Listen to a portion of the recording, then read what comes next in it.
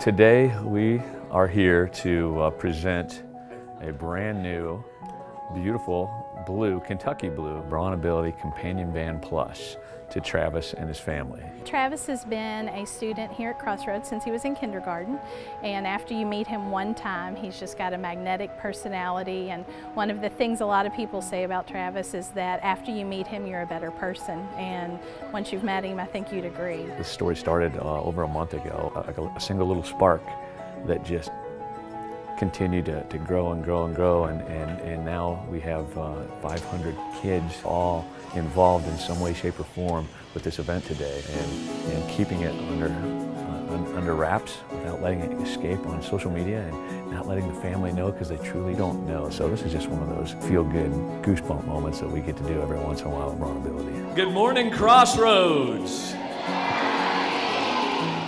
Travis, I got to tell you, buddy, your school and your community thinks you're a pretty important guy.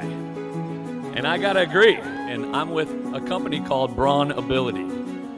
And we are a manufacturer that makes wheelchair accessible vehicles. And with the help of some of my friends here, Superior Van and Mobility, and Ally, and Protective, guess what, buddy? We've got a wheelchair accessible vehicle for you.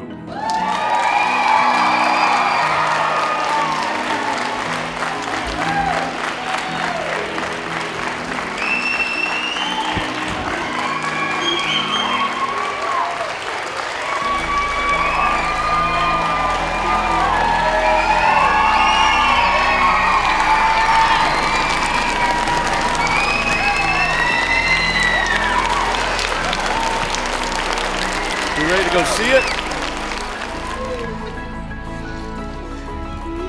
Yeah, it's got a it's got a ramp. You go right up in it.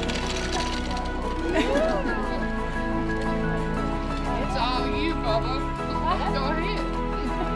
You got it, baby. Ready? Yeah. Ready to go? Yeah. All right, you gotta say yeehaw. You ready? Here When we heard about Team Travis and everything that the community here was doing, um, really inspired us. Uh, it's nice to see a community that rallies around someone like Travis and, and uh, his family. Uh, so you know, we like to participate and give back, and it was something really important to us. You like it? Me too. Can you say thanks? I mean, this right here is a, is a lesson all in itself, just to help people. Thank you to everybody that had even a little hand in this. Thank you so much.